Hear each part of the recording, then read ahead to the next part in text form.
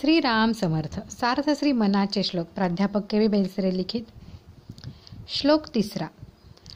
प्रभाते मनी राम चिंतित जावा पुढे वैखरी राम आधी वदावा सदाचार हा थोर सांडून येतो जनी तोचितो मानवी धन्य होतो.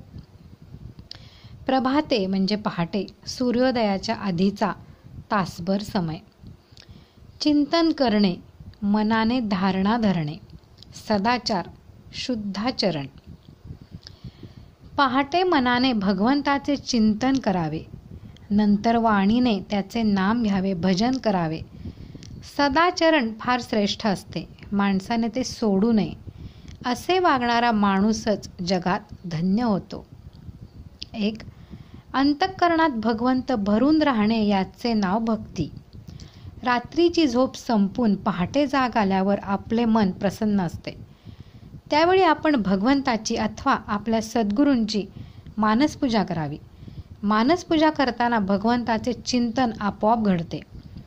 सकाळी शक्तीची गोळी घेतली की दिवसभर तिचा परिणाम टिकतो. त्याचप्रमाणे प्रभातकाळी भगवंताची मानसपूजा केली की तो माझ्याजवळ आहे ही भावना दिवसभर टिकते.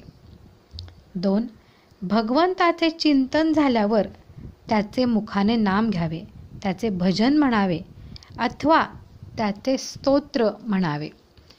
भगवंत भक्ताला मनाने व देहाने भगवंताला हाक मारल्याशिवाय चैन पडत नाही.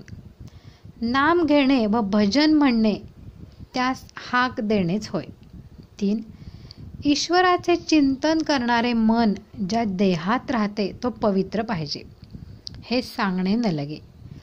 सदाचरणी माणूसच देहाने शुद्ध असू शकतो.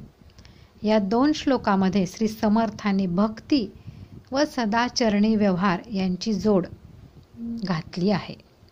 जय जय रघुवीर समर्थ.